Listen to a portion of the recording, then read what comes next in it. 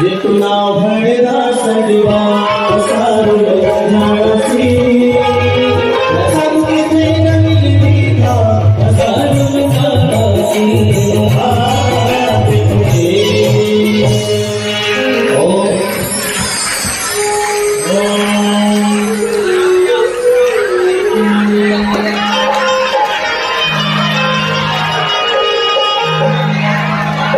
सुल्तानपुर ज़िले के royal garden मैरिजलान में चल रही सात दिवसीय श्रीमद भागवत कथा के प्रथम दिवस के दिन शुक्रवार को कथा व्यास अनुरुद्धाचार्य ने बड़ी ही सुंदर कथा श्रवण कराई।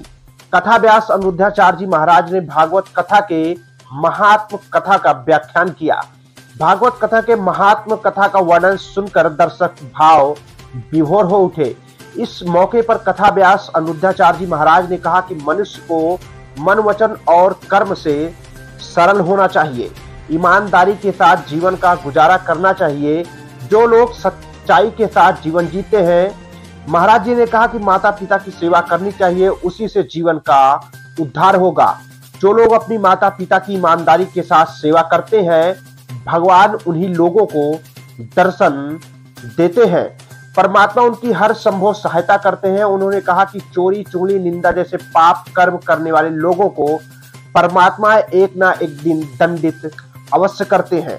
सुखी जीवन के लिए परोपकार करना भी ज़रूरी होता है। इस दौर सुंदर झांकियाँ भी दिखाई गई।